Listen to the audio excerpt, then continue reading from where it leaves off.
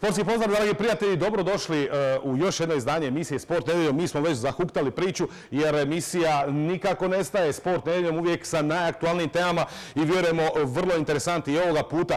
E, Mare, naša Marija je s nama i ovoga puta. Mare, znaš, sjajno, ali imamo i vrhunske goste. Tako je. Čeka nas e, Veljko Mršić, trener Hrvatske košarkaške reprezentacije, onda nam dolazi i Zoran Zekić, trener Moldavskog šerifa. Ali i profesor Dragan Milanović, jer Kineziološki fakultet obilježuje ove godine 60. obljetnicu, a profesor Dragan Milanović, kada je kondicijska priprema u pitanju, on je top klasa. Budite s nama jer zaista za prste polizat bit će ova emisija. Napravit ćemo pregled sportske 2019. godine da vidimo gdje smo i što smo kada je sport u pitanju. Ostanite sa Marijom i sa mnom i uživajte u još jednom izdanju emisije Sport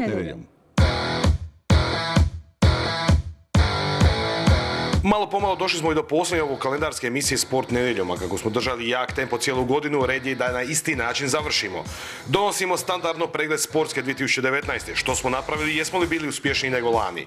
Imamo i jake studijske goste. O nogometnim aktualnostima ćemo sa Zoranom Zekićem, trenerom Moldavskog šerifa. 2020. bit će zahtjevna za naše košarkaše. Kvalifikacije do kvalifikacija, najprije u veljači za euro, a onda u lipnju u Splitu Mršićeve trupe pokušat će dograviti vizu za olimpijske igre u Tokiju. S posebnim guštom najavljujemo studijsko gostovanje izbornika Veljka Mršića.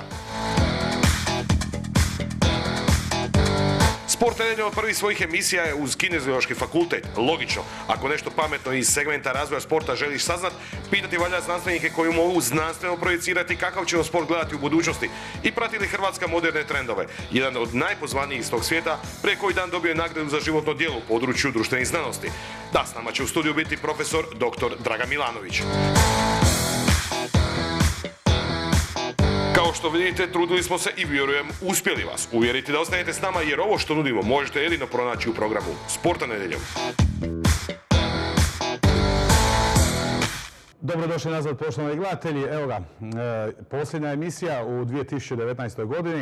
E, nekako već smo polako svi umorni od, vjerujemo, kako od završnih druženja sa sportskim i drugim društvenim prijateljima, onih domjenaka, a i ovo vrijeme malo je posvećeno obitelji. Na neki način sve to uzima svoj danak, a sport nedeljom ne prestaje raditi iz razloga toga što želimo uvijek imati kvalitetnu informaciju, dobrog gosta.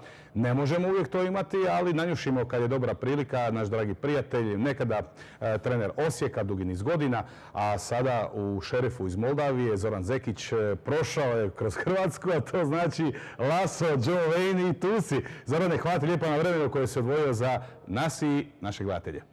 Hvala tebi na pozivu. Uvijek se rado odazovem tvoju emisiju i čestitam na još jednoj uspješnoj godini. Gdje su šefovi zadovoljni? Naslov prvaka osvoje kup, tako da šefovi su zadovoljni. U Europi nismo uspjeli, nažalost, probiti se do grupe Lige Europe, ali imali smo dosta onako fluktuacija igrača je bila u zadnjem trenutku, tako da nismo očekivali nešto previše, ali uglavnom dobro je. Sad se okrećemo novoj sezoni, novim ciljevima. 10.1. počinje priprema za novu sezonu. Mi imamo znači, malo drugačiji način natjecanja. Nama prvenstvo kreće 15.3. Nemamo pauzu sve do 11. mjeseca. Tako da ima dovoljno vremena za nove borbe. E, kako je u Moldaviji? Kakav je nogomet u jednoj zemlji koja za nas onako je, ono, možda za neke onako špansko selo, da ne kažem, ajde reći. Pa je, prilično egzotično je, iako puno ljudi misle da je Moldavija negdje u nekom dijelu Azije, ali zapravo je vrlo blizu Europe. Ima, ima, ima, svega, znači, Moldavija se nalazi između Ukrajine i Rumunjske. Što se tiče nogometa, rekao se, svi igraju danas nogomet, igraju ga Moldavci.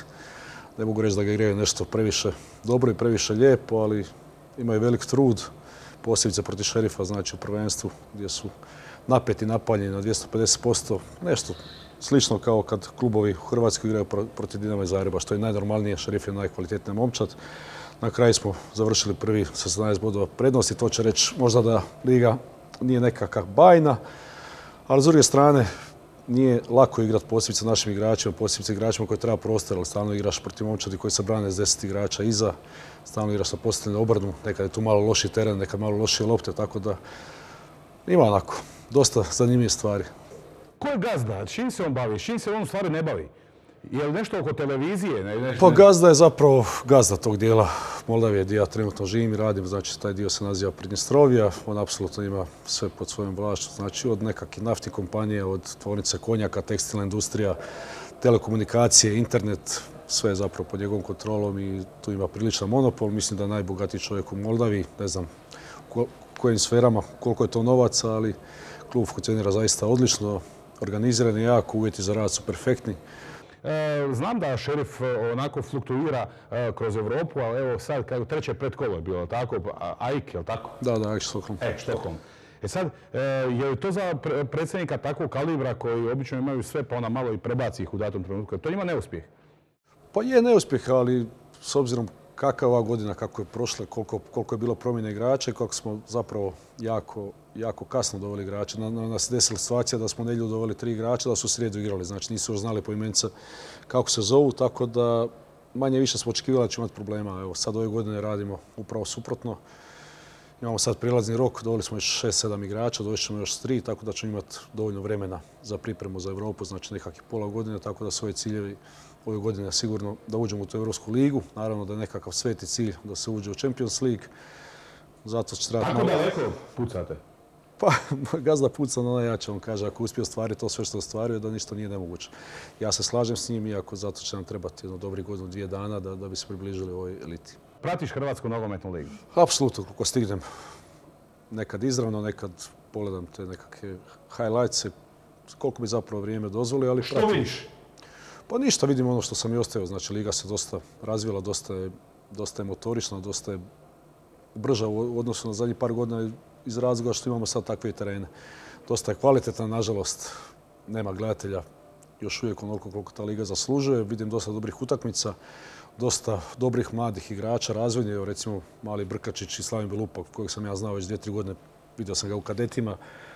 Ove godine pokazao neke stvari koje, koje mi daju za pravo da, da, da ga vidim da će biti jedna, mogu reći čak i evropska klasa, tako isto u svom Osijeku vidimo igrače koji su ušli preko B momčadi da se razvijaju fantastično i u drugim klubovima, tako da ta liga, hvala Bogu, pored ovog natjecajskog dijela još uvijek je razvojna. Nažalost, ti mladi igrači prebrzo odlaze, ali to je zapravo tako mora biti, jer većina klubova i dalje živi od, od te prodaje.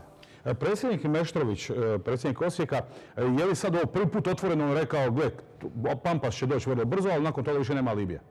Pa dobro, mislim da je on to pričao već ovih par godina zadnjih, jer zaista su tamo veliki troškovi i nemoguće ostvarivati paralelno i te infrastrukturne stvari i, i rezultat. Mislim da smo i napravili zaista rezultat u tih par godina fantastičan, čak nekad iznad očekivanja, pa smo možda navikli ljude da to treba biti stalno tako. Ja sam uvjeren da on to što je rekao, da, to i misli zajedno sa svojim partnerima iz Mađarske, da su oni to sposobni ostvariti i da će u tom smjeru ići. Na kraju krajeva mi smo zadnjih nekakve dvije godine mog mandata tamo prodali dosta igrača, zaradili nekakvih 15 do 18 milijuna eura.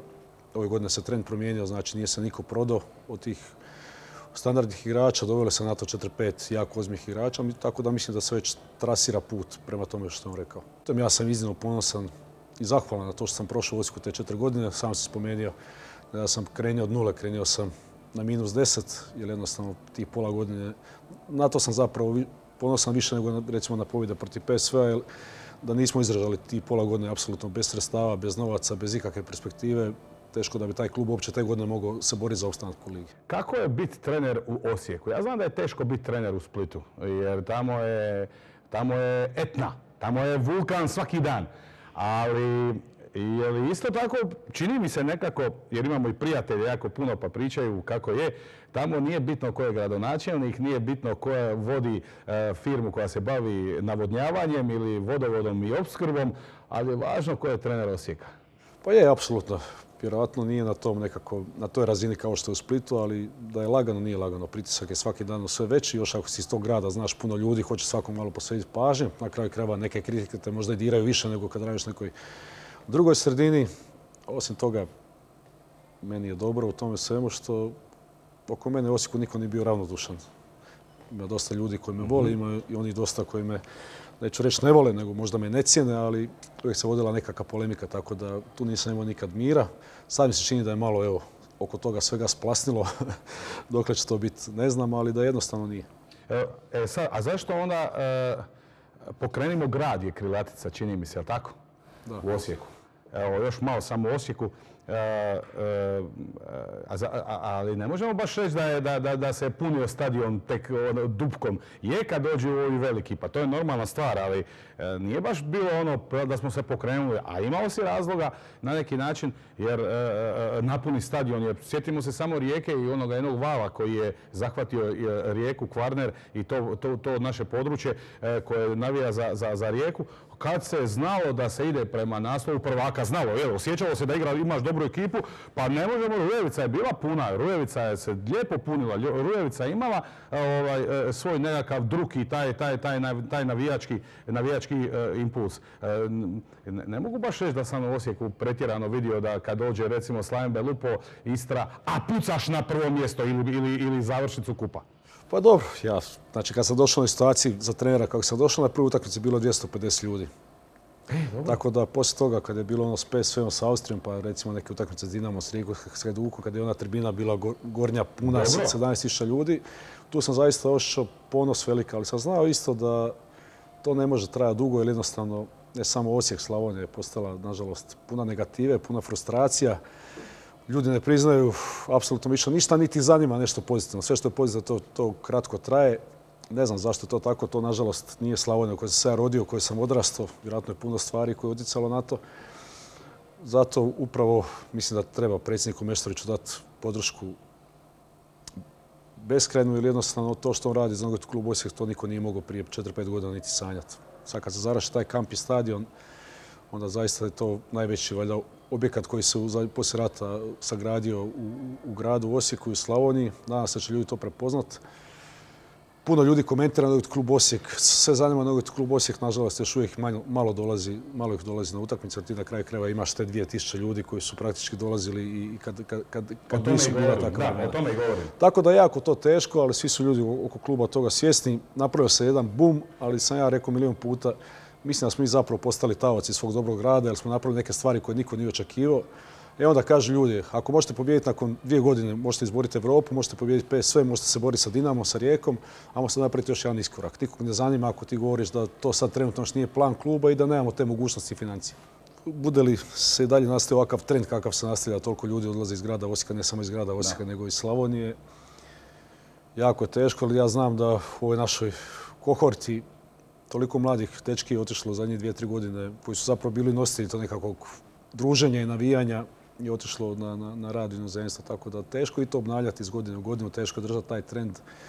Kažem, volio bi da je napokon se pokrene nešto u toj Slavoniji, da ljudi žive malo lagodnije, da budu sretniji, da, da ne budu toliko negativni kao, kao što su postali zadnjih par godina. Ok, ajmo sad e, dvije rečenice malo i ostatku hrvatske karavane. Je li Dinamo sada na poziciji da on više ne, je prerastao u navodne znakove, što je dobro jer drugi ga moraju pratiti u HNL-u, e, našu ligu? Pa ja moram ti reći, znači kad Dinamo ostvario taj ulazak u grupu Lige Europe, da smo svi očekivali malo, a dobili smo puno. A na kraju smo svi nesretni i žalosni jer Dinamo nije prošao u, u, u neće dočekat proljeće u, u Champions Ligi, iako je to zaslužio. E sad, Nenad je napravio vrhunsku stvar, ne znam da li mogao bolje, zajedno sa svojim stožerom.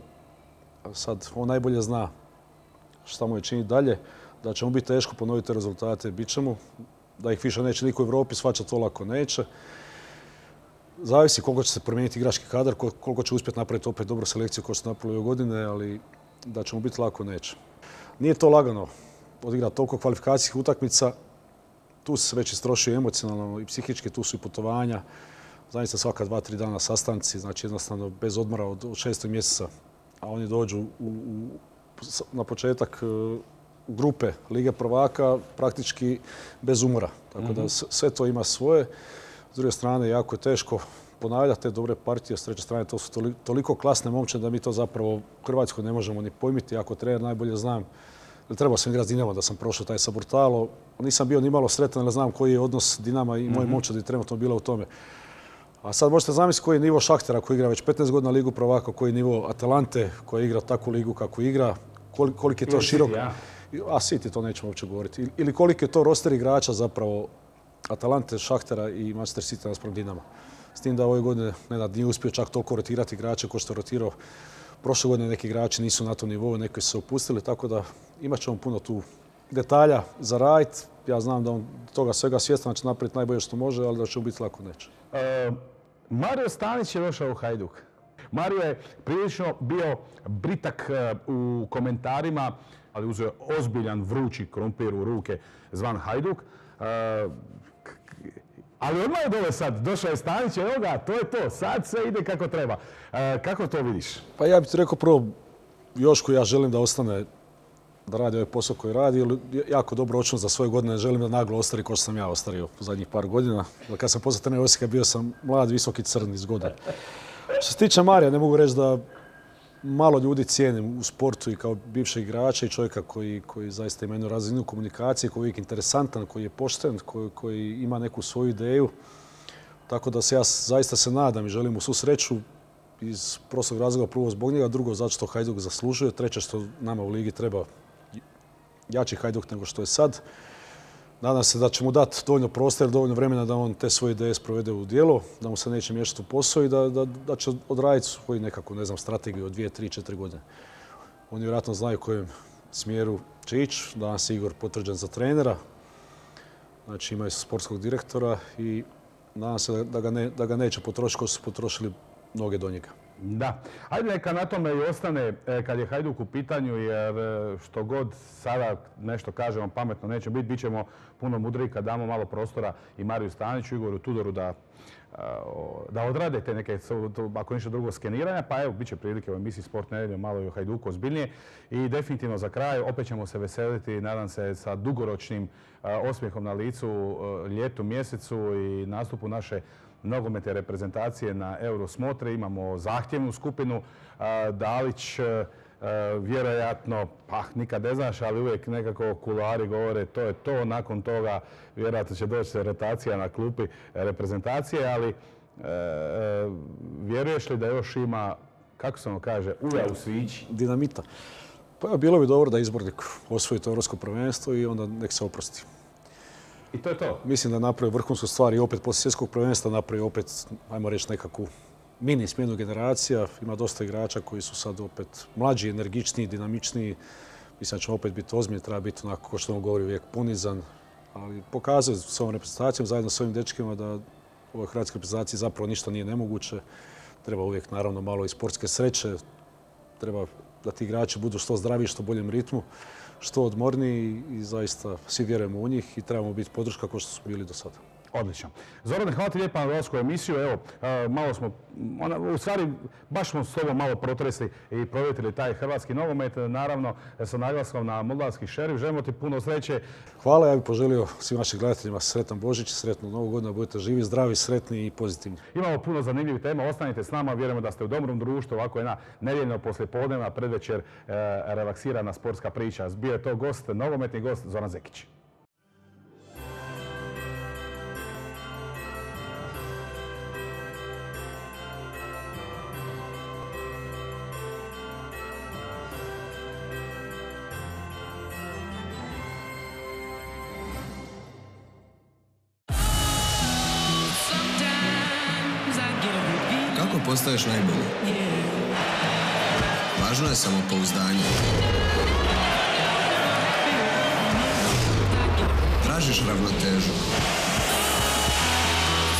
Stisneš zube i kad je teško.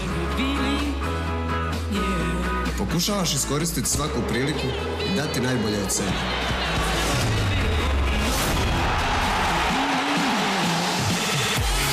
Premium Visa kartica samo u grupi Privredne banke Zagreb. Ispitaj, istraži, isprobaj, izvidi, skloni se, isplivaj se, ispuši se, zavuci se unutra, izvuci se van. Pogledaj, pogledaj opet. Slijedi kompas i izgubi se za svijet oko sebe, jer svaki dan otkriješ nešto novo.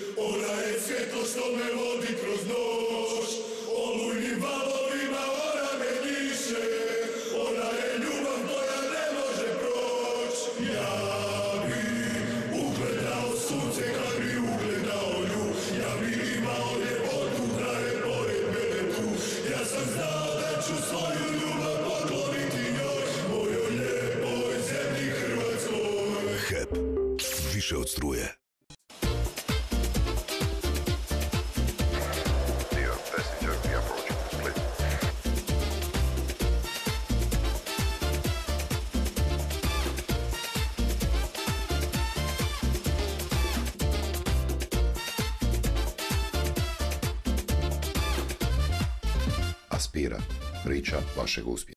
Izaberi svoj put i koristi Kubo Quest ili Quest Lite.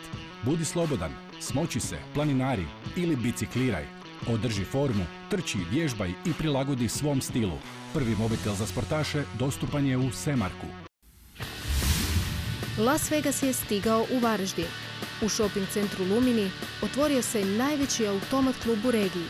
Na više od 1800 kvadrata od 0 do 24 sata. Čeka vas najbolji izbor automata za igre na sreću. Jackpot od 300.000 kuna, nagradne igre i još puno, puno više. Ribaj Stars Varaždin. Otkri igrača u sebi.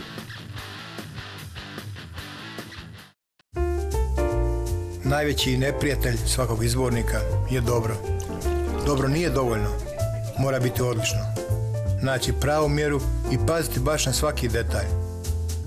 Nikad stati i od svih u svakom trenutku beskompromisno tražiti maksimum, jer onda je samo nebo granica. Zato je takva i moja kartica.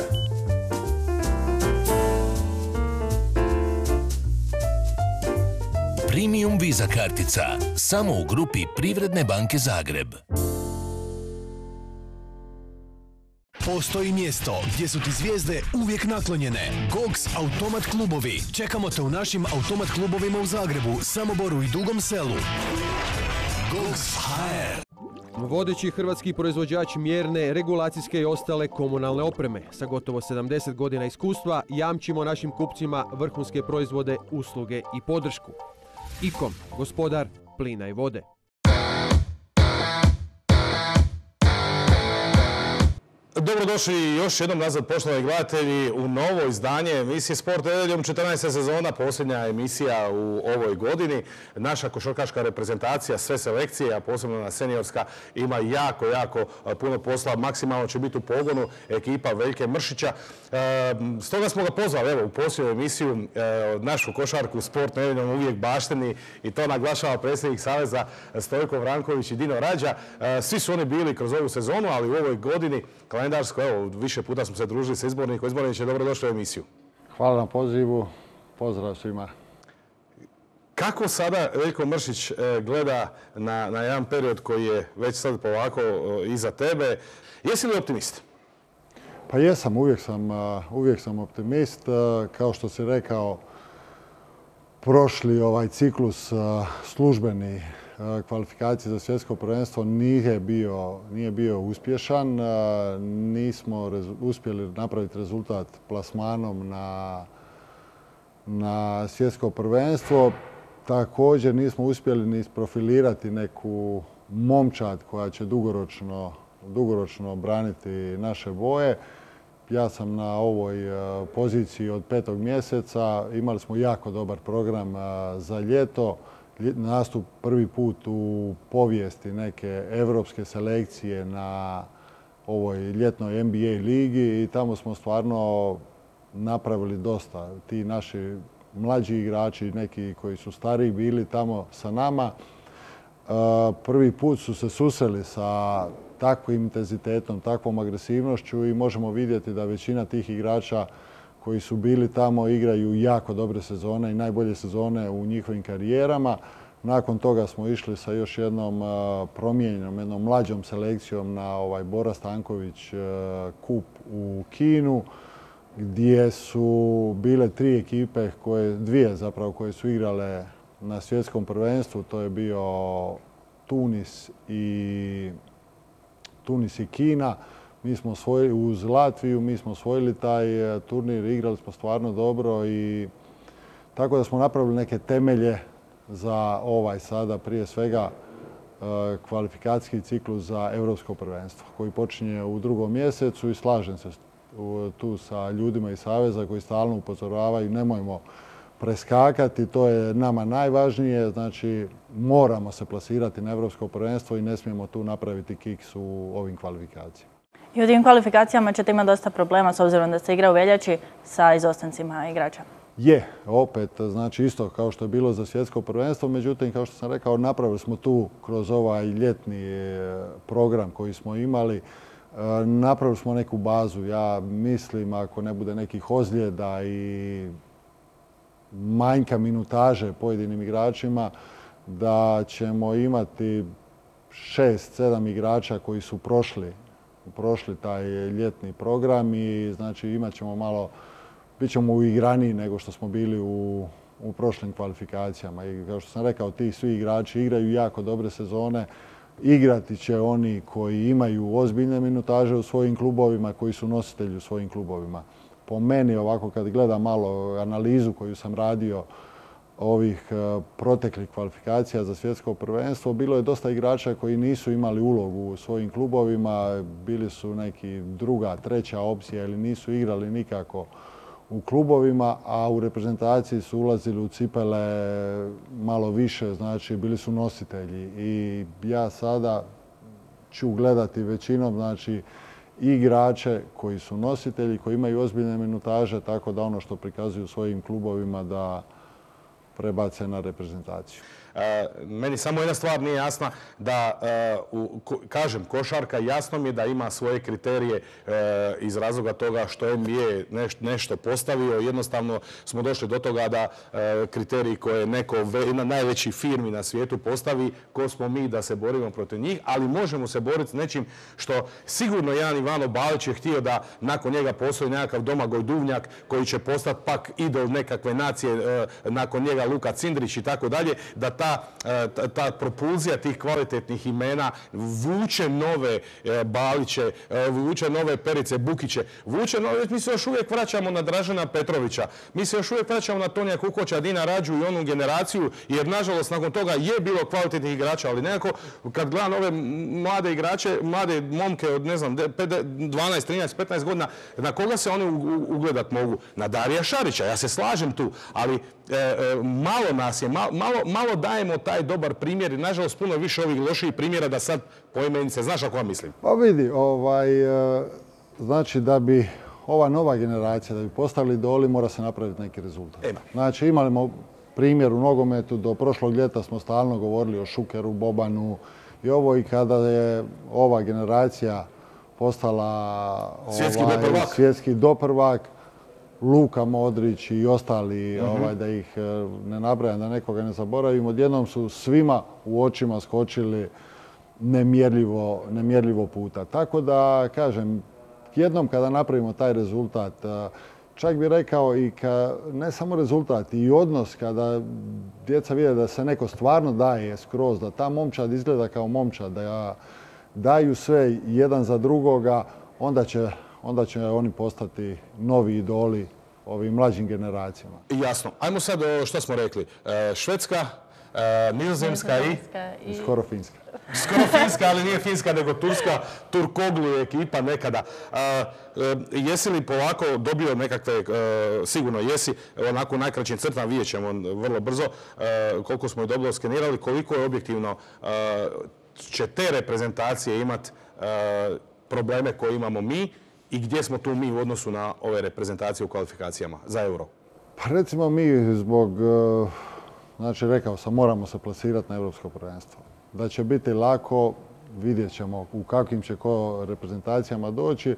Sve te reprezentacije imaju određenu kvalitetu. Naš prvi protivnik Švedska tri igrača im igraju Euroligu, neće moći igrati, znači bitna igrača. Jeffrey, znači i oni imaju Jeffrey Taylor, uh, Marcus Eriksson i, i, i uh, ima još jedan, sad ne mogu, ovaj, ne mogu sjediti, nisam znao da ćeš to pitati, mislim samo da ćeš biti na ovim kvalifikacijama za olimpijadu. sam se, bar malo. Ovaj, I imaju šest igrača koji igraju u Španjolsku ligu.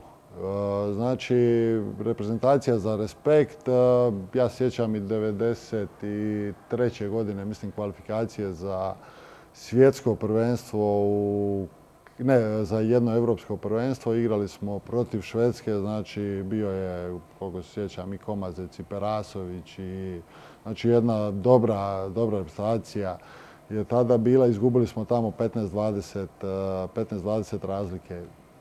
25 godina kasnije to je sigurno još kvalitetnija selekcija nego što je, nego što je bila onda, ali mi ukoliko budemo pravi, a bit ćemo, mi moramo, kažem, mi smo tu, moramo proći i favoriti, favoriti u tim utakmicama. Igramo doma prvu utakmicu sa Švedskom, onda nakon tri dana je Nizozemska. Vidjeli smo ih u prošlim kvalifikacijama, znači jednu utakmicu smo gore izgubili, drugu smo kod nas dobili, isto i jednu i druga je bila unutar, ja mislim, desetak razlike, pet, šest razlike. Tako da, kažem, neće biti lako, ali ukoliko budemo pravi, onda moramo, moramo proći na Europsko prvenstvo. Hrvatska će i onako muku mučiti s izostancima, pogotovo na onoj poziciji eh, playmakera. Dosta se sad u medijima pričao o tome da se rješenje neće tražiti među strancima. Da, ovaj, eh, odluka, odluka Saveza je da, znači politika je da idemo sa našim domaćim igračima. U jednu ruku to je i opravdano jer teško je naći e, zadnji, znači e, imali smo dva stranca do sada, jedan je bio Draper, drugi je bio Lafayette.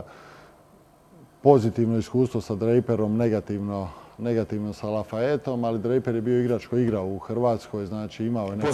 mentalitet. Imao je neku poveznicu, igrači su ga poznavali i uklopio je se puno bolje. Mi bi sada morali tražiti nekog igrača da smo se odlučili za to koji nikad nije bio u Hrvatskoj, koji ne poznaje, tako reći, igrače i sad u ovom trenutku je odluka da se ne ide sa strancem. Na sreću igrači na toj poziciji ovaj, neki igraju dobro na početku sezone. Prošlo ljeto recimo Roko Rogić je odigrao fantastičnu i ljetnu ligu i bio je najbolji igrač ovog turnira u Kini uh, od Stanković, Stanković Kupa. Hm. Tako da kažem, uh, napravili smo neke temelje. Problem jedini koji vidim da se može pojaviti da će ta prva utakmica recimo sa Švedskom u Zagrebu koja će se igrati. Biće prva službena utakmica tim nekim igračima u reprezentaciji pred svojom publikom i da tu može doći do neke, ajmo reći, treme, malo da, da to sputa. Međutim, obranu moramo odigrati na visokom nivou i kažem, iz tog razloga stavit ćemo i neke igrače iskusnije da malo pomognu za svaki slučaj ako ovi koji bi trebali biti nositelji u tom trenutku malo zapnu. zašto inzistiramo na tome da baš sad kad nam je malo stiska, a nisam siguran da ni ti, ni Dino, ni Stojko nemate neko asa iz rukava da ne bi mogli pronaći nekog stranca e, koji bi nam napravio tu, tu potrebitu e, e, priču prema, prema, u, sastavu ekipe koja nam nedostaje. Vidi, znači pojavilo se to ime ljetos ovog Šejna Larkina to nema nikakve, ovaj, ja sam pričao i sa Simonom i sa Tomicom Jatovićem mhm. koji, koji je pomoćni trener u FS Pilsenu. Dan nakon što je on to izjavio našim novinarima koji su bili u Zadru na ovom turniru, iz Kurtoazije da ne bi imao ništa protiv igrati za Hrvatsku. U Turskoj je rekao da bi bio oduševljen da ga Turci pozovu i da igra, da igra za, da, igra za Tursku. Tako da onaj, do nje on je vrhunski igrač, da se ne lažemo, sigurno bi bio veliko pojačanje koji bi mogao raditi razliku kao u ostalom što radi u FS Pilsenu, međutim nema nikakvih šansi da on zaigra za Hrvatsku. Ima tu nekih, e, nekih imena koji se nude, znači šta je, to je Znači, Ali oni žele... recimo kaže, evo Veljko, ja se stavljam stalno na dispoziciju, želim to pomoć, kako bi reagirao ti? Da pa vidi, e, pa mislim, e, on bi bio veliko pojačanje. Nastojao bi uvjeriti, kad bi on, na primjer, mogao doći, uvjeriti ljude da, ej, s njim smo ozbiljni favoriti za uzeti medalju na olimpijskim igrama. Ne samo se plasirati, plasirati na olimpijadu, međutim, kažem, to su promili, promili, promili šansi da on pristane igrati za Hrvatsku. Po nekim, po nekim pričama Turci mu nude milion dolara da uzme njihovu putovnicu. Često kroz dioptriju e, NBA igrača koji su u, u, u Americi, mi gledamo kako to mi nismo e, uspostavili rezultat. Dobro, ok, nema ih, ali kad su i tu bili nismo uspjeli napraviti nekakav rezultat. E, činjenica je da i ti naši NBA igrači koji su tamo nisu baš svi u prvim rolama osim jeli, Bogdanovića, Šarića, ispravi me. I Zubac I je starter E, ali e, ostalo je sve dvojbena priča. Pa istina, ovaj, to smo rekli, znači Mislim sad da- tri da igrača. malo da- pa mislim tu mi gledamo paušalno, mislim ako imamo sedam igrača u NBA-u da automatski to znači da moramo biti evropski prvaci, da medalja, smo favoriti, medalja. medalja, ono. Košarka je kao i nogomet, znači globalan sport u svakom trenutku. Mi imamo sada kroz ove kvalifikacije tih 16 momčadi što će se boriti za plasman na olimpijske, olimpijske igre. Tu ima osam momčadi koje ne da žele plasirati se na olimpijske igre, nego žele uzeti medalju ako se plasiraju tamo. Znači, konkurencija je jako velika. E, Kokoškov je to, mislim, bilo ko da prati košarku, ne mora biti to NBA stručnjak, samo- spomenuli smo njega, svjestan je, svjestan je toga. Mi imamo jednu grupu mladih igrača koja, koja dolazi, vidjet ćemo kako će se razvijati, e, do kojeg će nivoa doći. Imamo problem e, da naši klubovi ne igraju na e, visoke uloge, recimo u europskim natjecanjima, da bi ti igrači neki mlađi mogli se razvijati pravilno, boriti se za nešto.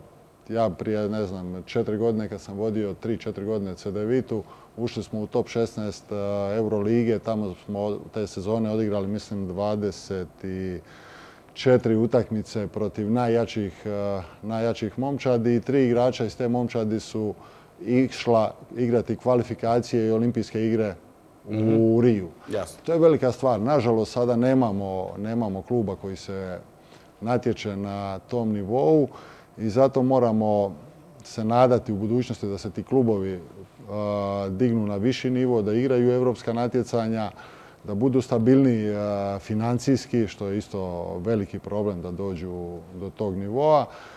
I ono što je najbitnije, to sam rekao i nedavno kad smo razgovarali u Savezu, znači dva odvojena procesa, A selekcija je jedno, pričali smo baš o tim strancima i tako, međutim odvojeni proces stvaranja, stvaranja igrača i rada u mlađim kategorijama, to moramo dignuti na jedan viši nivo, moramo, moramo imati jedan program cjelovitog razvoja košarkaša u pisanom obliku koji će se podijeliti svim klubovima i da stanemo iza toga i da to dižemo na jedan viši nivo. Mi imamo danas situaciju u košarci prija 30-40 godina kad su izlazili ovi 20 godina veliki igrači, u populacija do 13 godina e, koliko je onda trenirala košarku i danas je neusporedivo u korist danas. Da. Znači prije se nije moglo početi trenirati do 12. 13. godine.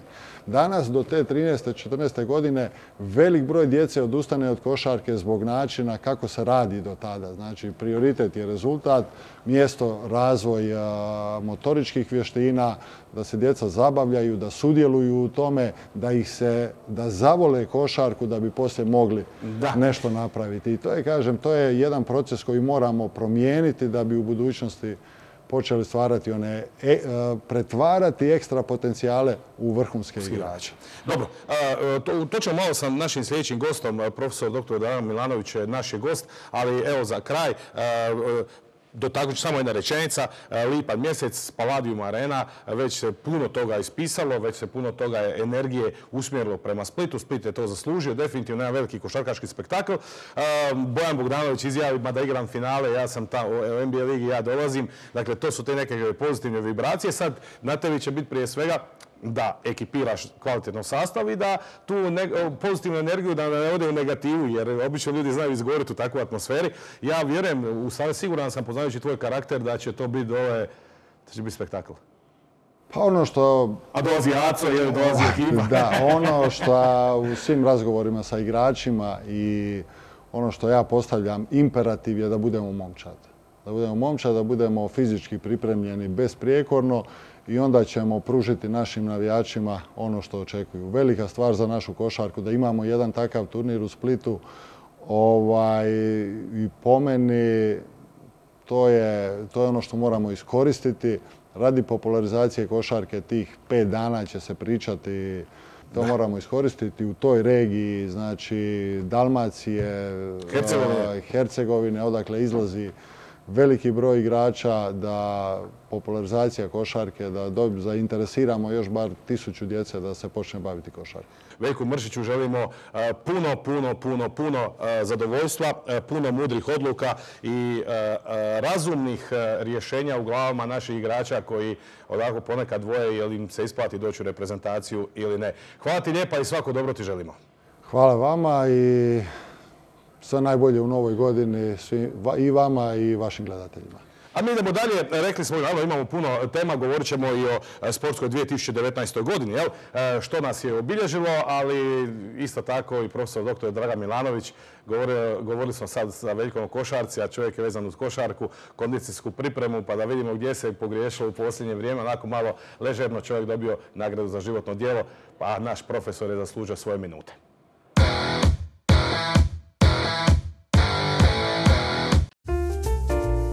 Najveći neprijatelj svakog izbornika je dobro. Dobro nije dovoljno, mora biti odlično. Naći pravu mjeru i paziti baš na svaki detalj. Nikad stati i od svih u svakom trenutku beskompromisno tražiti maksimum, jer onda je samo nebo granica. Zato je takva i moja kartica.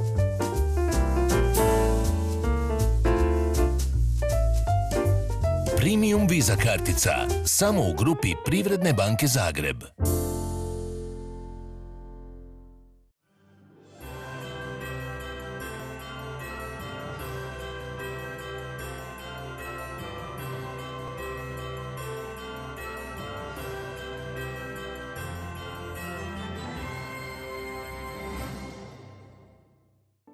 Izaberi svoj put i koristi Kubo Quest ili Quest Lite. Budi slobodan, smoči se, planinari ili bicikliraj. Održi formu, trči, vježbaj i prilagodi svom stilu. Prvi mobitel za sportaše dostupan je u Semarku. Tamo gdje drugi vide zidove i prozore, vi vidite dom. Gdje drugi vide namještaj, vi vidite ljubav i ostvarene snove. A gdje drugi vide samo sliku, vi vidite umjetničko djelo. Za vas je to najvrijednija imovina koju posjedujete. Osigurajte je s Adriatic osiguranjem, jer mi na stvari gledamo kao i vi.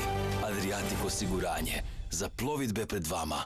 Ja sam je gledao kroz kapljice kiše Ona je svjetlo što me vodi kroz noć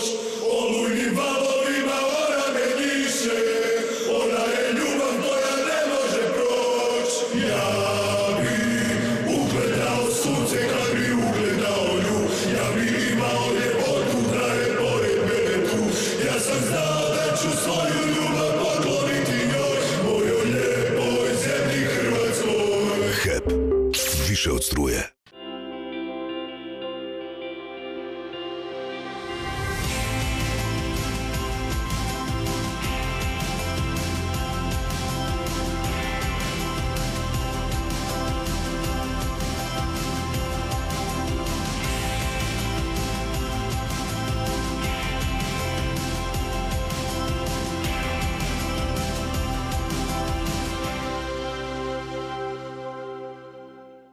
Postoji mjesto gdje su ti zvijezde uvijek naklonjene. Gogs Automat klubovi. Čekamo te u našim automat klubovima u Zagrebu, Samoboru i Dugom selu. Gogs HR. Donosimo pregled najvažnijih uspjeha hrvatskih sportaša u predolimpijskoj 2019. godini u kojoj su po službenim podacima Hrvatskog olimpijskog odbora u nastupima na svjetskim i europskim prvenstvima te svjetskim i europskim kupovima u raznim sportovima naši sportaši osvojili 384 medalje i to 119 zlatnih, 101 srebrna i 164 brončane. U momčarskim sportovima najveću pozornost izazvao je nastup nogometne reprezentacije u kvalifikacijama za nastup na Europskom prvenstvu, dok je u pojedinačnim konkurencijama ova godina protekla u nastojanju sportaša da izbore plasman na olimpijske igre koje će se od 24. srpnja do 9. kolovoza 2020. održati u Tokiju. Vatreni izborili 11. veliko natjecanje. Premda je to bila godina s nekoliko manjih šokova, hrvatska nogometna reprezentacija ispunila je glavni cilj, a to je plasman na Europsko prvenstvo 2020. godine. Biće to 11. veliko natjecanje na kojem će nastupiti vatreni. Od proglašenja neovisnosti propustili smo tek po jedno svjetsko 2010. i europsko 2002. Vatreni će na Euro, koji će se održati iduće godine diljem starog kontinenta, igrati u skupini D protiv Engleske i Češke, te jedne od ekipa iz kvarteta Škotska i Norveška, Srbija i Izrael. Protiv Gordi Albiona igrat ćemo na Wembleyu, a preostale dvije utakmice u skupini u Glasgowu. Dodajemo kako je Hrvatska nogometna reprezentacija 2019. godinu završila kao šesta reprezentacija na ljestvici Međunarodne nogometne federacije. Izabranici Zlatka Dalića tako godinu završavaju iza prvoplasirane Belgije, svjetskog prvaka Francuske te Brazila, Engleske i Urugvaja, a ispred europskog prvaka Portugala te Španjolske, Argentine i Kolumbije. Dinamova godina za pamćenje. Premda navijači Dinama još uvijek žale za izgubljenim europskim proljećem u Ligi prvaka, iza Modrih je godina za pamćenje. Bila je to godina u kojoj su Nenad Bjelica i njegovi odabranici pomaknuli neke granice. U proteklih 12 mjeseci Dinamo je osvojio prvenstvo i Super Kup, nakon skoro pola stoljeća dočekao jednu europsku utakmicu na proljeće, te je bio na korak do plasmana u osminu finala Lige prvaka. Nekoliko igrača Dinamo probilo se do hrvatske reprezentacije, pri čemu su Bruno Petković i Dominik Livaković čvrsto ugrabili dres vatrenih, dok je Dani Olmo osvojio Europu u dresu Španjolske u 21 vrste i postao član A vrste Furije. Odličnu godinu Dinama upotpunili su i modri klinci, izborivši plasman u play-off juniorske lige prvaka, u kojoj će u veljači igrati protiv Kijevskog Dinama. Mlada momče Dinama, koju vodi Igor Jovićević, osvojila je drugo mjesto u skupini C lige prvaka iza Atalante, te ispred Manchester Citya i Shaktara. Tri odličja vaterpolista s tri velika natjecanja. Hrvatski vaterpolisti su u predolimpijskoj 2019. godini nastavili s tradicijom osvajanja odličja na velikim natjecanjima, srebrne i brončanu medalju. Ipak najvažnije natjecanje ove godine bilo je svjetsko prvenstvo održano u Južnoj Koreji. Odobranici Ivice Tucka nisu uspjeli obraniti naslov svjetskih prvaka koje su osvojili na prethodnom svjetskom prvenstvu u 2017. u Budimpešti, ali su nastavili kontinuitet osvajanja odličja na svjetskim prvenstvima. Hrvatska se morala zadovoljiti utakmicom za treće mjesto gdje su ih čekali neugodni Mađari. Panje odličja na svjetskim prvenstvima na kojima smo osvojili sedam uzastopnih medalja, dva zlata, srebro i četiri bronce. Uspješni su bili i naši klubovi od kojih su čak tri sudjelovala u ovogodišnjoj Ligi prvaka, od kojih Zagrebačka mladost i Dubrovački jug imaju realne izglede za plasman na završni turnir među osam najboljih klubova starog kontinenta, dok je naš treći sudionik Lige prvaka Splitski Jadran ostao bez završnice. Po tradiciji na kraju godine izabran je najbolji vaterpolist u 32. izboru u večernjog lista, a za najboljeg vaterpolista Hrvatske u 2019. godini izabran je Maro Joković. Svjetsko europsko zlato braće Sinković. Godina 2019. u hrvatskom veslanju protekla u dominaciji braće Valenta i Martina Sinkovića, koji su u dvojcu bez kormilara osvojili naslove svjetskih i europskih prvaka. Najuspješnija braća hrvatskog sporta u predolimpijskoj godini nisu dopustili iznenađenja, pobjednički su odradili sve važne utrke i spravo su veliki favoriti za zlato na olimpijskim igrama u Tokiju. Krajem godine apsolutnu dominaciju Sinkovića potvrdio je Međunarodni veslački savez jer ih je proglasio najboljom muškom posadom godine. Damir Martin je u finalu samaca na Europskom prvenstvu zauzeo peto mjesto, a osvojio je i drugo mjesto u B finalu samaca na Svjetskom prvenstvu i tako izborio nastup na olimpijskim igrama u Tokiju sljedeće godine. Tin Srbić i ozlijeđen do naslova svjetskog doprvaka. Najbolji hrvatski gimnastičar Tin Srbić osvojio je naslov svjetskog doprvaka na preći u njemačkom Stuttgartu. Svjetski prvak iz Montreala 2017. godine zbog ozljede zapešća morao je vježbati s nižom početnom ocjenom, ali je vrlo preciznom izvedbom zaradio ukupnu ocjenu 14.666 bodova. Osvajanjem srebra u Stuttgartu Srbić je osigurao plasman olimpijske igre u Tokiju sljedeće godine. Plasman olimpijske igre osigurala je i Ana Đerek vrlo dobrim nastupom u kvalifikacijama svjetskog prvenstva u Stuttgartu. Đerek je nastupila u više boju u kojem je zauzela 67. mjesto s ukupnom ocjenom 49.466 bodova čime je bila među 20 najboljih pojedinki izvan 12 najboljih ekipa.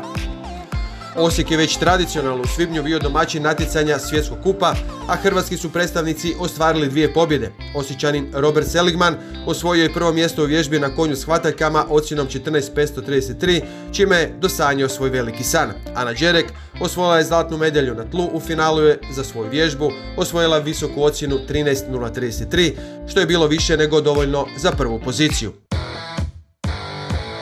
Sandra Perković popunila je kolekciju odličja na svjetskim prvenstvima. Na ovogodišnjem svjetskom prvenstvu u atletici u Dohi nastupilo je osam hrvatskih predstavnica i tek jedan predstavnik. Sandra Perković nije uspjela obraniti naslov svjetske prvakinje u bacanju diska, osvojen prije dvije godine u Londonu, ali je na stadionu u Kalifi u Dohi upotpunila kolekciju odličja sa svjetskih prvenstava, osvojivši brončanu medalju hicem od 66 metara i 72 cm. Četvrtom medaljom na svjetskim prvenstvima Sandra Perković postala je trećom bacačicom diska kojom je to pošlo za rukom. Plasman olimpijske igre u Tokiju svojim je rezultatom ove godine osigurao i bacač kugle Filip Mihaljević. On je do olimpijske norme stigao još u svibnju, kada je u Slovenskoj Bistrici postavio novi hrvatski rekord od 21 metra i 84 cm.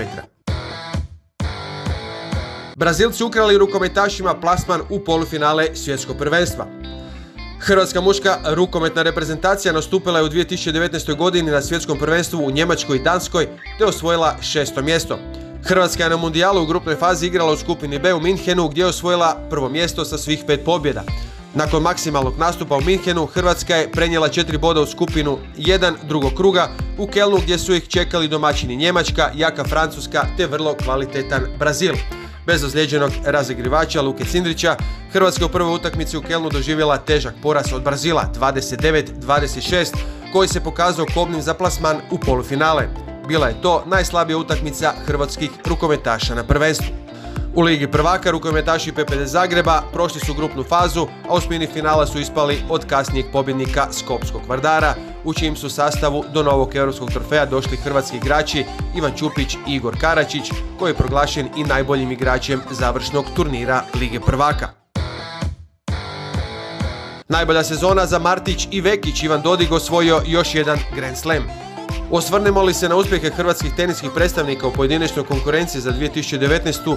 možemo stvrditi da je više prošlo u znaku tenisačica nego tenisača koji nisu uspjeli ponoviti rezultate kakve su ostvarili prethodnih godina.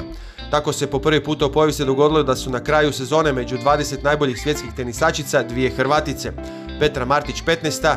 te Dona Vekić 19 dok se istovremeno na pojedinačnoj ATP ljestvici u top 20 ne nalazi niti jedan Hrvat, jer je najbolje rangirani Borna Ćorić godinu završio na 28. poziciji. Kako su u pojedinačnoj konkurenciji glavni hrvatski igrači podbacili te prvi puta nakon 2005. hrvatski muški tenis ostao bez jednog ATP naslova u sezoni, tako je status najuspješnijeg hrvatskog tenisača 2019. zaradio Ivan Dodik.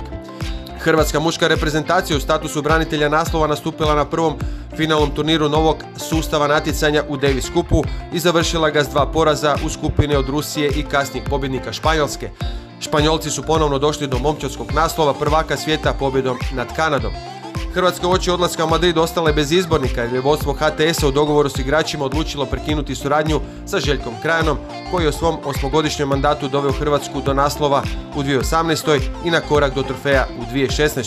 U Madridu je privremeni izbornik bio reprezentativac Franko Škugor, a sredinom prosinca za Krajanova nasljednika imenovan je uspješni splitski stručnjak Vedran Martić. Franko Grgić postao svjetski juniorski rekorder. Godinu 2019. u hrvatskom plivanju obilježio je 16-godišnji dugoprugaš iz Splita Franko Grgić. On je na Europskom olimpijskom festivalu mladih u Baku osvojio zlato na 400 i 1500 metara slobodno, dok je na svjetskom juniorskom prvenstvu u Budimpešti osvojio zlato na 800 i 1500 metara slobodno, ostvarivši pritom svjetski juniorski rekord na 1500 metara i europski juniorski rekord na 800 metara. Grgićev rezultat na 1500 metara uvrstio je ga na 22. mjesto svih vremena u toj disciplini, a njime ujedno ostvario normu za nastup na olimpijskim igrama u Tokiju.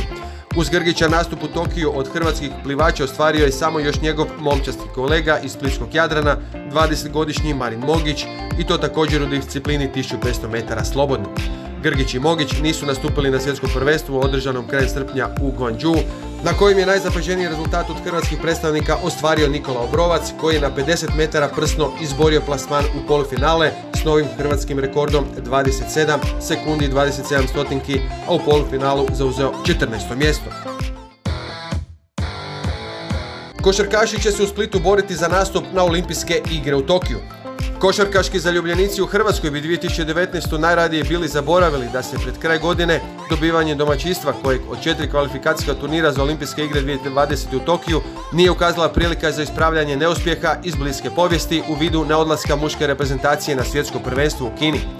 Hrvatska je zajedno sa aktualnim europskim prvakom Slovenijom ušla kao jedna od dvije najbolje rangirane europske reprezentacije na Fibinoj ljestvici koji nisu sudjelovali na svjetskom prvenstvu u Kini.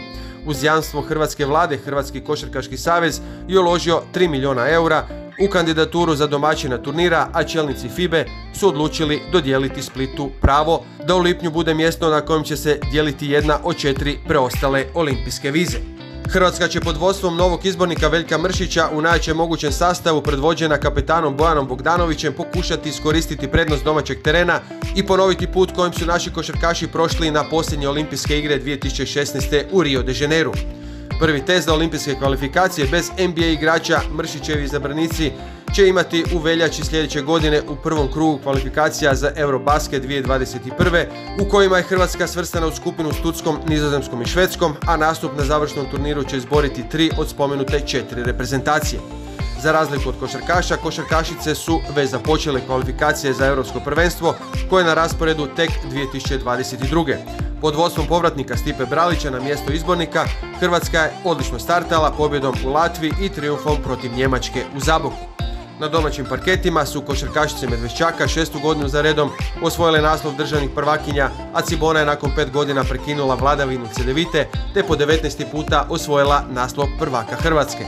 Samo nekoliko dana poslije finala Hrvatskog prvenstva vodstvo Cedevite odlučilo je senjorski pogon preseliti u Ljubljanu i spojiti s Olimpijom koja osvajanjem zadnjih mjesta izgubila status ABA prvoligaša, a Hrvatska je tako izgubila trećeg predstavnika u regionalnoj ligi.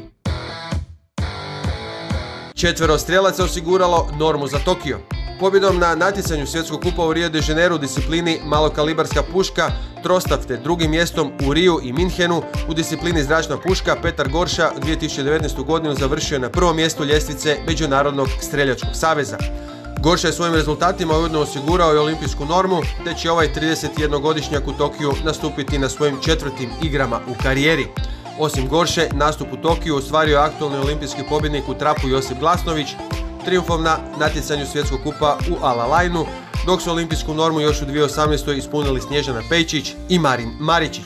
U Osijeku je ožujku održano europsko prvenstvo u gađanju zračnim oružjem, ali nitko od hrvatskih predstavnika nije se uspio probiti do finala. Stolno tenisač Tomislav Pucar preko europskih igara izborio nastup na olimpijskim igrama. Tomislav Pucar je svojim rezultatima u 2019. godini izrastao trenutačno najboljeg hrvatskog stolno tenisača. Europski prvak do 21. godine iz 2017. na ovogodišnjim europskim igrama osvojio brončano odličje čime je ostvario normu za odlazak na olimpijske igre i nadmašio očekivanja i na svjetskom prvenstvu u Budimpešti gdje je stigao do smine finala. Osim Pucara u glavnom ždrijebu svjetskog prvenstva u Budimpešti su nastupili još Andrija Gačina, Frane Kojić i Mateja Jeger, no oni su zaustavljeni već u prvom kolu. Tri olimpijske norbe i pregršt medalja za Taekwondo. Hrvatski Taekwondo borci u 2019. godine na natjecanjima sakupljali su potrebne bodove za plasman na olimpijske igre u Tokiju iduće godine.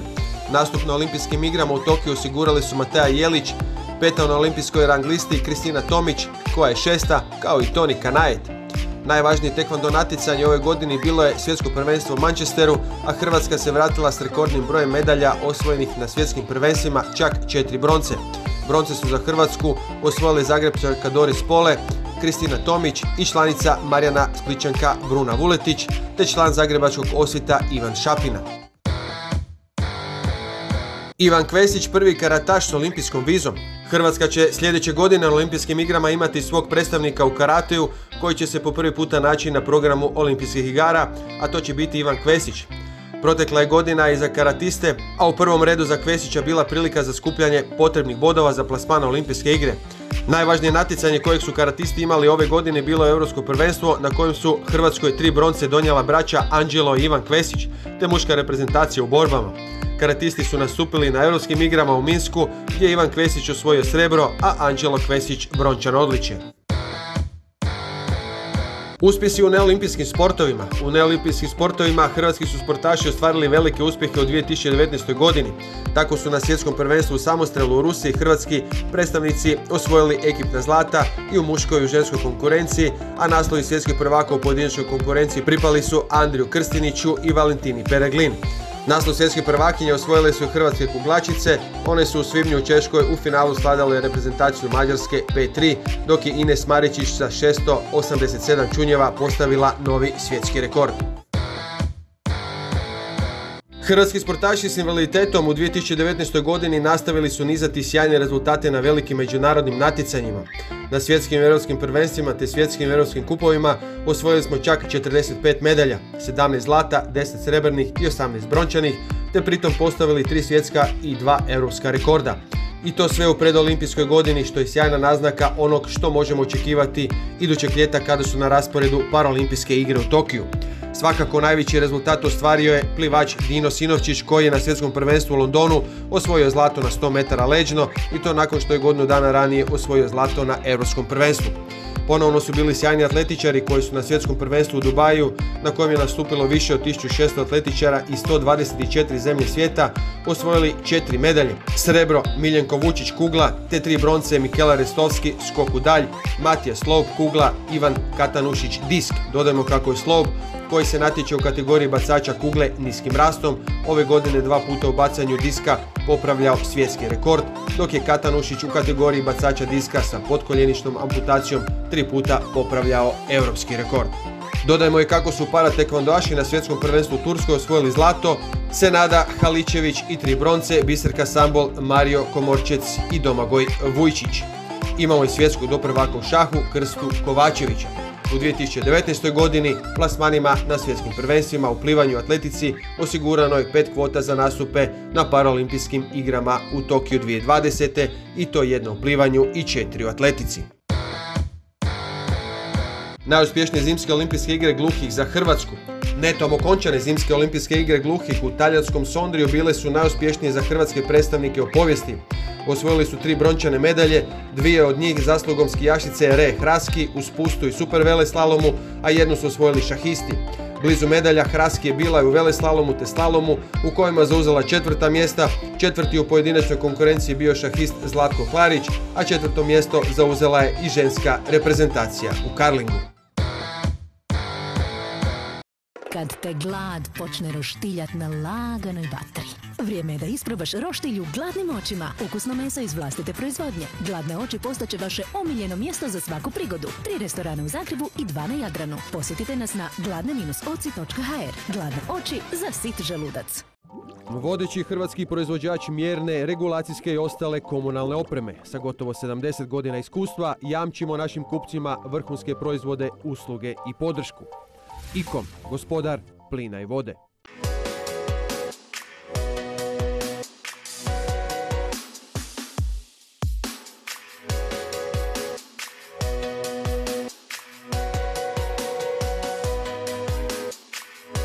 Provjereno. Najbolja zabava u gradu. Maredo. Las Vegas je stigao u Varaždin. U shopping centru Lumini otvorio se najveći automat klub u regiji. Na više od 1800 kvadrata od 0 do 24 sata. Čeka vas najbolji izbor automata za igre na sreću. Jackpot od 300.000 kuna, nagradne igre i još puno, puno više. Ribaj Stars Varaždin. Otkri igrača u sebi.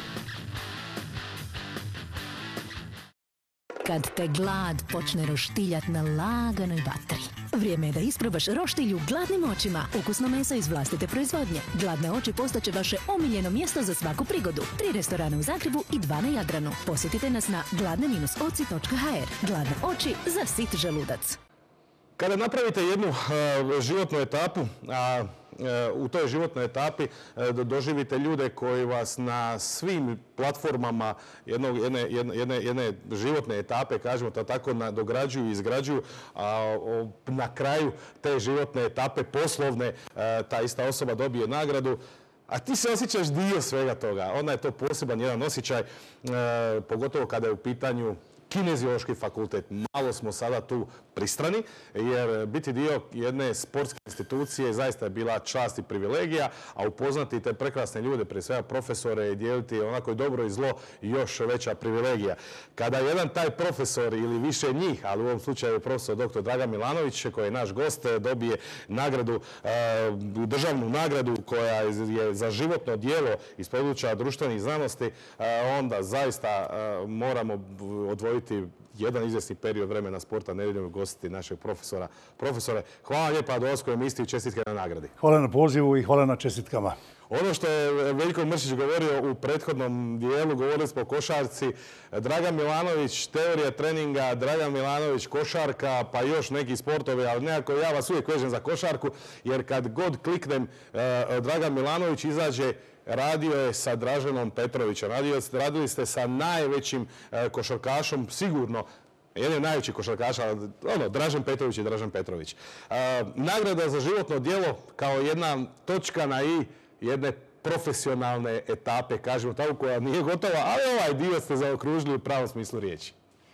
Pa mogu reći da se lijepo bilo nalaziti u društvu znanstvenika iz raznih znanstvenih područja, biomedicine, prirodnih znanosti, tehnike, biotehnike i naravno društveno-humanističkih znanosti i umjetničkih područja i biti dio toga. To znači da kinezilogija, dakle, koja je već dugi niz godina etablirana kao znanost, dobila je još jednu potvrdu, jedno priznanje da ona u području znanosti ima što ozbiljno kazati, jer cijeli život sam nastojao provoditi znanstvena istraživanja i naravno prenijeti ih na one kojima će ta istraživanja, te znanstvene spoznaje biti korisne i pokušati ugraditi znanstvene informacije u djelatnu praksu. Tako isto, a kada ste rekli Dražen Petrović, to je bio na neki način jedan možda i pionirski posao 80. godina prošlog stoljeća, kada je on imao 17 godina i kada smo od početka pokušali nešto što je danas, da tako kažemo, u u, opticaju teorija personaliziranog treniranja. Personalizirana medicina, personalizirani drugi oblici utjecaja na čovjeka ili na neke sustave proizvodnje. Mi smo nastojali prepoznati njegove potencijale i mi smo nastojali napadati one točke njegove pripremljenosti u kojima on tada nije zadovoljavao kriterije vrhunskih, vrhunskih sportaša, vrhunskih košarkaša, podataka smo dolazili i mjerenjem nekih drugih sportaša i prateći znanstvenu literaturu, a održavati ono što je on imao kao evidentan potencijal. Je li to nešto, e, čini mi se, skočnost? Je li to bila skočnost? Da, apsolutno ste u pravu. Da je, da je Kukoč skočniji bio od njega. Ovako je nekako komparacija bila. Kukoč je mlađi četiri godine od njega, ali, ali ste potpuno u pravu. I mi smo u tim prvim godinama radili najviše na eksplozivnoj snazi tipa skočnosti, eksplozivnoj snazi tipa sprinta i agilnosti. A njegov radni potencijal, to je dakle bilo neviđeno, sposobnost i spremnost da vrlo naporno, rekao bih s one strane ljudske izdržljivosti, trenira i po 4, 5, 6 sati dnevno, nikada umoran, uvijek željan novih izazova u tehnologiji rada. A kada ste već i Kukoča spomenuli, onda imam doista prigodu, a sve u kontekstu znanosti i znanstvenih istraživanja, mjerili smo svake godine članove reprezentacije bivše države, Kukoč, Rađa, Stojko, Vranković i tako dalje, Perasović, Zdovc, Divac i tako dalje, jasno nam je. I tada smo na određeni način već znanstveno obrađivali informacije, jer su treneri tada, i Čosić i Ivković kasnije i tako dalje, željeli dobiti konkretnu informaciju o dobrim i lošim stranama ekipe i pojedinaca, ne bili u pripremama koje su bile duže nego danas, što je bilo dosta važno, mogli izgraditi sve one kapacitete koji su bili potrebni za nastup na velikim natjecanjima. I tada glavni urednik sportskih novosti Mario Zorko objavljuje članak Toni Kukoč po NBA standardima.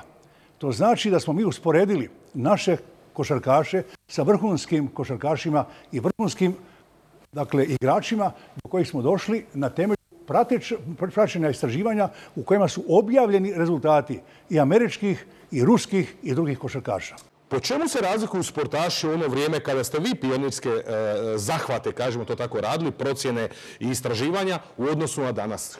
Sport se promijenio, sportaši su se promijenili. U čemu? Naravno da se sport vrlo, vrlo dinamično mijenja. Uzmimo samo jedan primjer.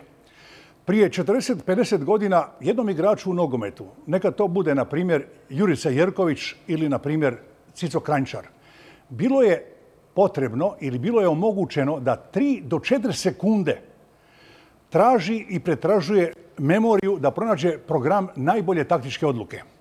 Kasnije, u proteklih 10, 15, 20 godina, u vrijeme Krojfa, u vrijeme ovih igrača koji su bili i ovim našim prostorima vrlo kvalitetni igrači, oni su već morali donositi odluke u jednu do dvije sekunde.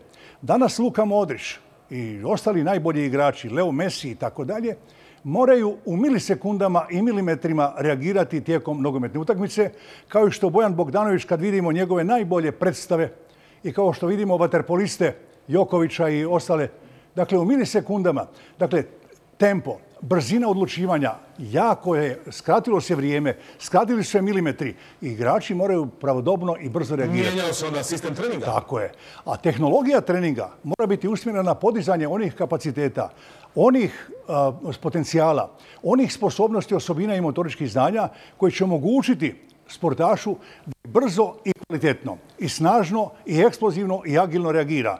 I donese najbolje rješenje, najbolju odluku i da taj potez može otvoriti ili kontrnapad ili finalnu realizaciju jednoga, jednoga kontrnapada u okviru sporta o kojem razgovaramo. Gdje je onda, profesore, granica? Gdje je granica ljudskog, ljudskog organizma? Dokud će ta granica ići s obzirom da, nažalost, imamo i one druge negativne e, e, reperkusije tog velikog velikog profesionalnog, napornog sporta sve više i smrtnih slučajeva? Danas je, dakle, mi možemo reći da sportski trening nosi i određene izazove. Najvažnija je činjenica koja ide u preveniranje ovih neželjenih posljedica o kojima govorite, da pronađemo darovite talentirane sportaše, ali što je najvažnije, da sa njima rade kvalificirani, vrlo kvalitetno školovani treneri koji znaju dozirati opterećenje, koji znaju izabrati tehnologije rada, jer tehnologije treninga se povećavaju, količina rada i napora se povećava, natjecateljska izvedba danas u nogometu, kada, na primjer, igrači preteče 10-12, vidimo izvještaje sa utakmice sa produžetkom i 14,5 tisuća metara, znači 14,5 kilometara pretiče igrač, ali u visokom tempu, u visokom, visokim zahtjevima tehničko-taktičkog djelovanja, dakle, tehnologija treninga mora prilagoditi igrače. I ono što je vrlo važno naglasiti, trening mora imati dimenziju prepokrivajućeg opterećenja u odnosu na ono što traži jedna natjecateljska izvedba u košarci, rukometu, vaterpolu, odbojci, atletici i tako dalje. I sada se postavlja pitanje kako prepokrivati opterećenje. Moja teorija i teorija mnogih znanstvenika u području teorije sporta i sportske pripreme je da trening mora biti muka, trener mora biti napor, trener mora biti stres, da bi natjecanje bilo užitak, da bi natjecanje bilo veselje. Ako vi nemate vremena i mogućnosti da u treningu se adaptirate na opterećenja natjecanja, onda se vrlo često dogodi da vrlo nizak trening do, dakle, vrlo niska razina opterećenja u treningu, ne pripremi sportaša za izuzetno visoka i maksimalna opterećenja na natjecanjima, a pod utjecajem stresa na natjecanju, publike, atmosfere, medija, tu se može dogoditi da neke slabe karike u organizmu sportaša mogu doći na vidjelo. Je li danas struka Hrvatska, o hrvatskom sportu generalno govorimo, na svjetskim standardima? Pa, dakle, možemo reći da je divno uh, vidjeti, a i slušati profesora Nikolu Bralića koji vodi braću Sinković, koji je, koji je, dakle, najbolji trener na svijetu. Divno je imati primjere kada vam, na primjer, Tucak koji je završio višu trenersku školu, školovani, kvalificiran trener i vodi proces sportske pripreme, vodi natjecanja i postiže briljantne rezultate. Zlatko Dalić koji je završio višu trenersku školu također. Dakle, to su sve visoko školovani kadrovi koji su stekli temeljna znanja primjenjena znanja, a kroz cjeloživotno obrazovanje su se dalje usavršavali kako bi što kvalitetnije, što uspješnije mogli odgovoriti na izazove vrlo složenog sustava sportske pripreme u sportu u kojima on djeluje. Hrvatska u ovom trenutku mora naprosto napraviti jedan odlučujući korak da afirmira akademizaciju stručnih zvanja. To znači treneri koji vode, koji upravljaju, koji planiraju i programiraju proces sportske pripreme, koji ga kontroliraju, moraju imati odgovarajuću stručnu spremu najmanje na razini prvostupnika. Ostale osobe u sportu koje se osposobljavaju mogu djelovati u sportu i oni sudjeluju u realizaciji programa za koje odgovornost preuzimaju školovani kvalificirani treneri. Jel vi to mislite na, e, u kontekstu uh, trenera, menadžera? Apsolutno. Trener mora, glavni trener. Imao sam priliku i sreću, privilegiju u životu. Od 72. godine, znači 47 godina, radi sa vrsnim trenerima u odbojci, košarci, rukometu, vaterpolu, nogometu, atletici, tenisu, bočanju. Neću nabrati sada mhm. trenere, dugi bi to bio niz. I jednostavno sam osjetio i vidio da je trener gladan znanja. On je vrlo često i u najvećem broju slučajeva završio stručni studij za izobrazbu trenera ili fakultet kineziološki, dakle u Zagrebu, u inozemstvu ili, ili u Splitu ili negdje drugdje. I jednostavno je bio kompetentan. To znači ovo što ste jako dobro kazali. On mora s jedne strane znati svoju užu struku, Dakle, tehničku, taktičku, tehničko-taktičku, psihološku, kondicijsku, on to mora znati, on je odgovoran, on je prvi, a u svoj tim uključuje stručnjake koji su na neki način verzirani za određeno područje. Izvršno i mogu dati jedan, jedan, jedan dodatni, dodatni, dodatnu količinu znanja koja će taj trenažni proces i sustav sportske pripreme oplemeniti. Ulaganje u hrvatski sport, e, povrat e, tog hrvatskog sporta državi Hrvatskoj, e, genotip hrvatskog sportaša, često razgovarajući sa ljudima iz različitih sportskih branši Hrvatske koji su nas proslavile u svijetu kažu bojimo se za hrvatsku budućnost. Bojite li se vi za hrvatsku budućnost s obzirom da cijeli svijet ide prema naprijed? Jedan, dio e, partikula je kineziologija i znanost, ali džaba nam znanost ako nemamo tijesto iz koje ćemo kvalitetno moći napraviti posao. E, kako vi vidite, razgovarate sa svojim kolegama iz drugih, e, sa drugih platformi, recimo i sa financija, državnih institucija, kako vidite hrvatski sport u, nekakvom srednjoročnom razdoblju? Bojite li se da ćemo izgubiti vice prvake u nogometu, e, vaterpoliste da budu stalno u vrhu, rukometaše ili na Červara da se bore za medalje na svjetskim smotrama? Pa kad se nađemo na nekim značajnim svjetskim skupovima ili u znanosti ili u struci, onda naprosto vrlo često dobijamo pitanje i dobijamo konstataciju da je dakle, hrvatski sport doista prestižan u svijetu. Mi kada pogledamo dakle, 44 olimpijske medalje, mi kada pogledamo samo u sportskim igrama, košarka, odbojka, rukomet, nogomet, vaterpolo, stolni tenis i tenis, imamo 46 medalja na europskim, svjetskim prvenstvima i olimpijskim igrama. Dakle, kad gledamo, gledamo najtrofejniji atletski sport, kad pogledamo također vrlo trofejan sport, veslanje, dakle, hrvatski sport je doista respektabilan u svijetu. Međutim, ovo što ste jako dobro primijetili, Moramo gledati budućnost. Moramo gledati kako što spremnije dočekati oštru svjetsku konkurenciju koja uključuje znanstvene spoznaje u tehnologiju rada i mi moramo na neki način otvoriti mogućnosti da se znanstvene spoznaje, znanstvene istraživanja što više uključuju u tehnologije sportskih priprema, u identifikaciju i rani trening sportskih talenata, da ovaj genetski potencijal s kojima Hrvatska raspolaže doista kroči sigurnim putem, a to može samo uz suradnju, uz vođenje kvalificiranih trenera i ostalih trenera koji mogu biti priključeni trenažnom procesu. I naravno mora doći do jače simbioze između kinezioloških fakulteta, Hrvatskog olimpijskog odbora, Središnjeg državnog ureda za sport, nacionalnih sportskih saveza, prije svega mislim na Zagrebački sportski savez ili Sportski savez grada Zagreba, jer tu vidim veliki potencijal. Jer ukoliko mi budemo radili izolirano i ukoliko ne uspostavimo sustav, a za to nije potrebno previše sredstava, da se formira Nacionalni institut za istraživanje razvoj sporta u kojem će biti koncentrirani znanstvenici i istraživači koji će kroz e, određena istraživanja biti u stanju proizvesti znanstvenu spoznaju, Drugo, transferirati to znanstveno znanje na teren i treće, kontrolirati da li se te znanstvene spoznaje primjenjuju u napređenju svakodnevne prakse u odnosu na rad trenera i sportaša kako bi i roditelji i nacionalni sportski savezi i sudionici i mediji mogli prepoznati da postoji jedna jaka interakcija između znanstvene spoznaje, transfera znanja, transfera tih informacija i primjene tih spoznaja za unapređenje sportske prakse. Jer Hrvatska nema preveliki broj talenata i mi moramo osigurati da se svako darovito dijete nalazi u jednom ozbiljnom, sigurnom trenažnom procesu koji će ga voditi do aktualizacije njegovog talenta.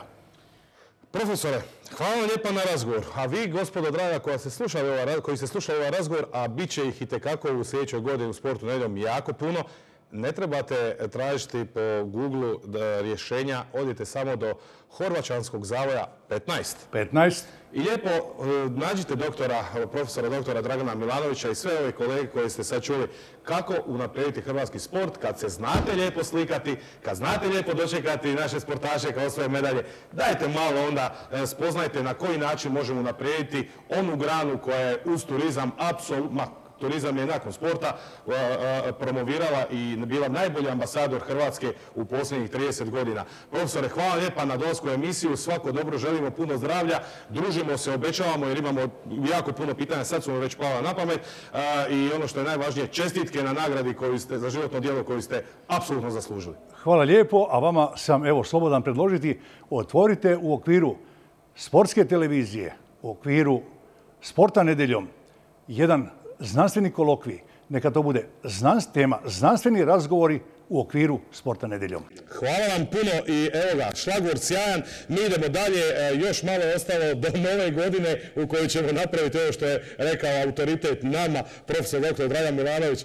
A kad on to kaže, mi možemo samo kazati, može. Malo pomalo došli do kraja još jedne sportske emisije. Godina je gotova, bila je sjajna, je li tako Mare? Tako je, bolje nije mogla. Tako je, bila je uspješna sportski, bila je uspješna e, produkcijski kada je sport nedeljom u pitanju, malo smo se zezali na vlastni račun, promišljali smo i radili smo uh, presjek 2019. godine, ali doveli sjajne goste. To vam obećavamo i sljedeće nedelje, prvoj ovosezonskoj, odnosno kalendarskoj emisiji u 2020. godini, opet vam nudimo spektakl. Ko je gost? Nećemo sad otkriti, ali već imamo asa u rukavu. Budite s nama za tjedan dana u isto vrijeme standardni termin emisije Sport nedeljom na sportskoj televiziji u 20 sati. Lijep pozdrav!